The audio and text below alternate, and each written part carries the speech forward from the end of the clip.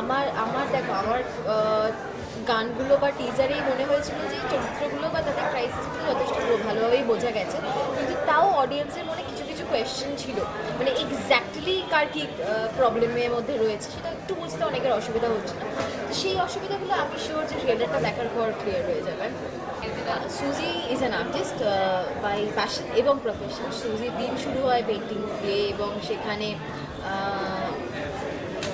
আমি Suji is an artist by passion and profession Suji দিনে শুরু হয় ছবি আঁকা দিয়ে ওর একটা বাচ্চা আছে, তাকে ঘিরে ওর জীবন ইনভলভ করে।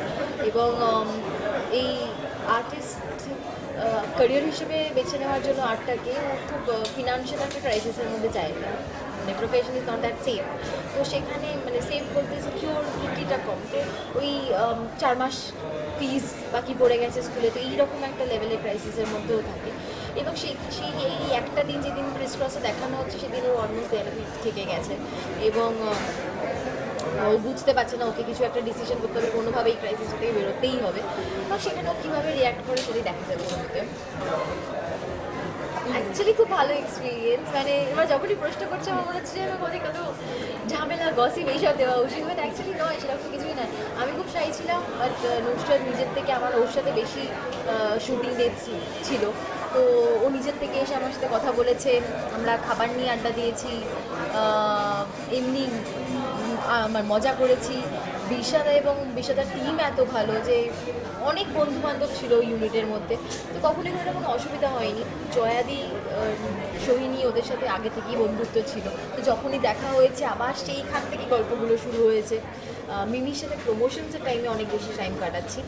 She is also very sweet and she is always spoken very good things about me তো দিস মিনস ভেরি মানে ভেরি মাচ টু মি ভালো এক্সপিরিয়েন্স নার্ভাসও আছে অ্যাংজাইটি আছে অনেকটা। মানে টেনশনটা থাকে, প্রত্যেকটা ছবির আগেই টেনশন থাকে, কিন্তু এইটা এইটা না খুব স্পেশাল কারণ এখানে তোমার ট্রেলার টিজার গানগুলো দেখলে বুঝতে পারলে এটা পুরোটাই কিন্তু মেয়েদেরকে ঘিরে রয়েছে। তো এখানে ছেলেদেরকে অলমোস্ট দেখানোই হচ্ছে না বা মেয়েদের ক্রাইসিসটাই দেখানো হচ্ছে।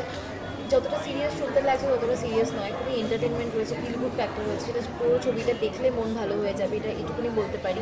কিন্তু এই- এইরকম একটা ইন্টেন্স টিজার ট্রেলার কীরকম রিয়াকশন দিচ্ছে অডিয়েন্সের মধ্যে সেটা এখন থেকে তো প্রেডিক্ট করা যাচ্ছে না। আমার ক্লোজ সার্কিটে আমি বুঝতে পারছি যে ইন্টারেস্ট গ্রো হচ্ছে। কিন্তু লার্জের মাসে কেমন লাগছে এটা আমরা জানতে পারছি কিন্তু সেটা টেন্থে জানতে পারব। Just very important film to us সেই কারণেই এতটা ভাবছি এটা নিয়ে।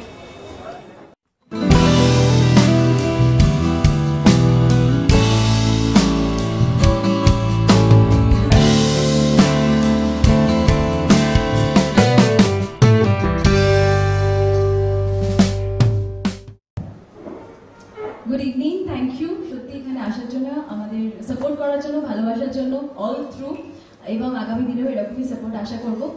জাস্ট প্রেসের মাধ্যমে আজকে অডিয়েন্সের কাছে রিকোয়েস্ট করব টেন্থ অফ অগস্ট আমাদের ক্রিসমাস চলে আসছে।